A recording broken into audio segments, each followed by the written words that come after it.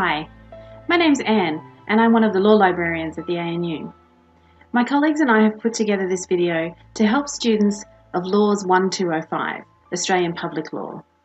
This session will help you to identify the most efficient ways to search for legal resources for your essay. In general, when conducting legal research on Australian topics, it's important to remember that international sources such as Google will not have particularly strong results in Australian law. For that reason, we are showing you the specialised databases which are available via ANU. Think of it like shopping.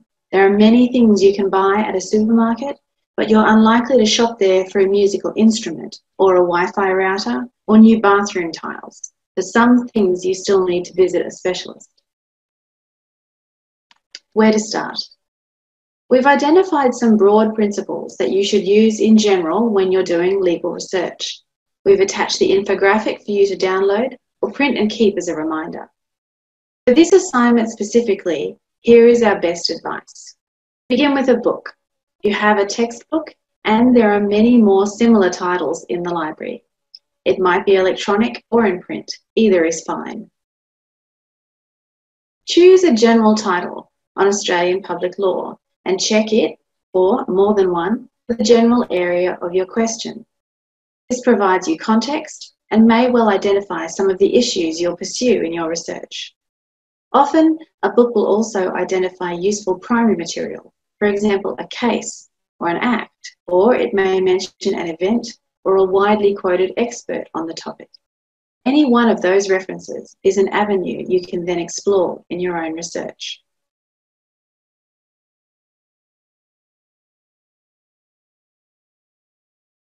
We're aware that you may experience difficulty finding a print book due to the COVID 19 shutdowns. Remember that you can search the ANU Library catalogue for ebooks, but also we have legal encyclopedias and dictionaries you can access for similar purposes. Both Westlaw and Lexis Advance have online encyclopedias you can access to find legal definitions on words and phrases. Often, the footnotes to these entries identify cases and legislation, which are extremely useful. Some of your questions specify the types of resources you should use. If you are looking for legal resources from around the world, you can look on the Foreign and International Law Guide and check by country to see what is available. Your question may mention commentary. Like textbooks, these resources may contain some brief statement about the topic we're interested in, and if they do, they are likely to refer to specific articles or reviews. If you are looking for recent developments, look in the breaking news or recent development sections. This will give you information about recent legislative or policy proposals.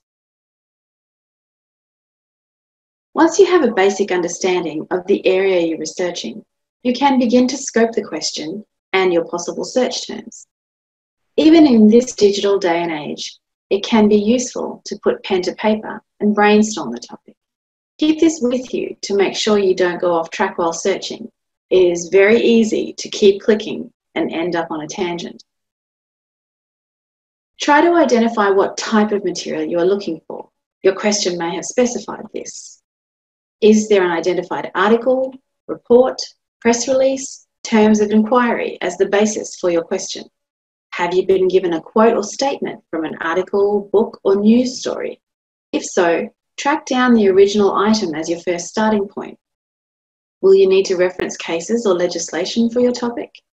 Do you need to be interested in government, practitioner, or academic views?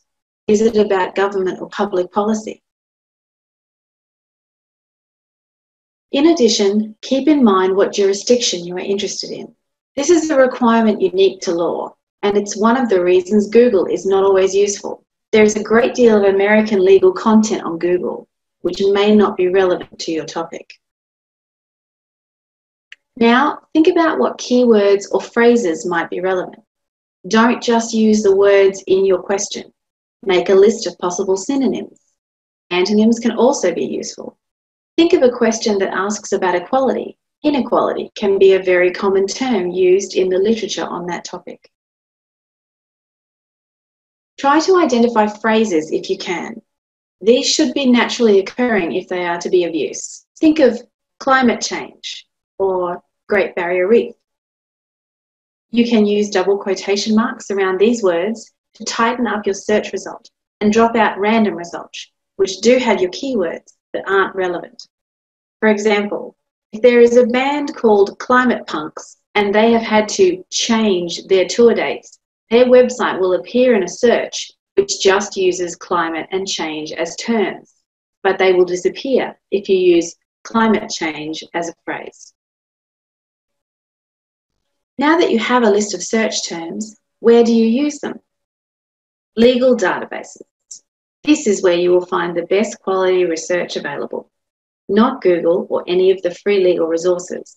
They can be useful, but the vast majority of academic resources, such as journal articles, are held behind paywalls in a small number of legal databases. Australian legal topics. Start with AGIS. You can find it on the Law Subject Guide, or you can see it on the A to Z listing on the library homepage. Run searches using a variety of keywords in different combinations. Use more than just the terms in your essay question. Then run these searches again in a different database. It's important you use a variety of sources. You'll find other suggested databases on the Law Subject Guide. Once you've begun your search, pay attention to the results you're getting. Are there references to parliamentary inquiries or committees? Law Reform Commission reports? Do authors keep referring to the same person as an expert in the area? These are all ways you can identify new, useful material for your research. Remember that you can search by more than just keyword. Look for that expert by author, or try searching by subject. If you are struggling to think of subject terms, look in the databases like AGIS. It will often let you click on a subject heading as though it were a hashtag. If your question refers to the ALRC, or other similar organisation, AustLII has a Law Reform Commission database that you can search. Parliamentary information can be found at aph.gov.au. If you are looking for a committee or submissions, you can browse there if you know the name of the committee and which parliament it was convened in. Otherwise, you can try searching for the ParlInfo database